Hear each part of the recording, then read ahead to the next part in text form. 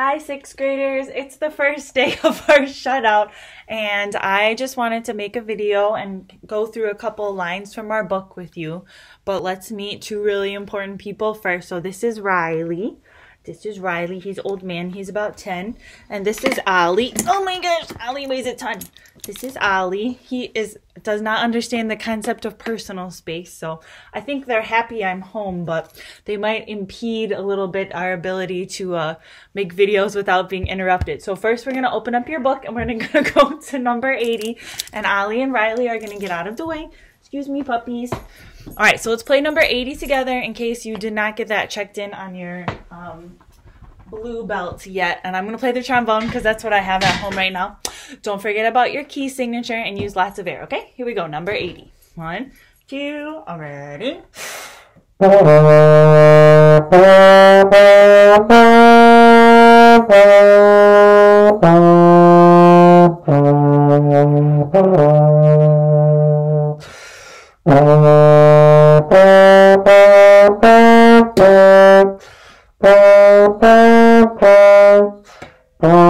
and play that one a couple times if you need to and then you can go over to Seesaw and submit a video to me once you're ready and you've practiced it so I can get that checked off in the grade book. And then let's look at number 82 now. So clarinet to remember if you are um, squeaking a lot, make sure you are covering all the holes.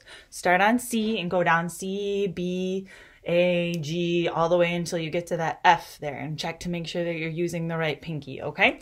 So here we go. Here's going to be number 82, airtime. Use lots of air. Here we go. One, two, ready.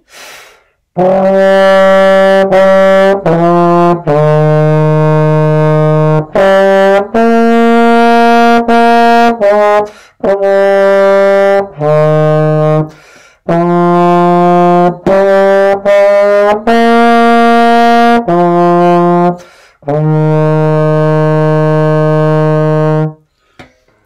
right, so that'll be it for today. So practice those two, and once you're ready, if you haven't gotten checked off for your blue belt yet, make sure that you go over to Seesaw and submit a video, okay? And I'll see you tomorrow. Have a good day.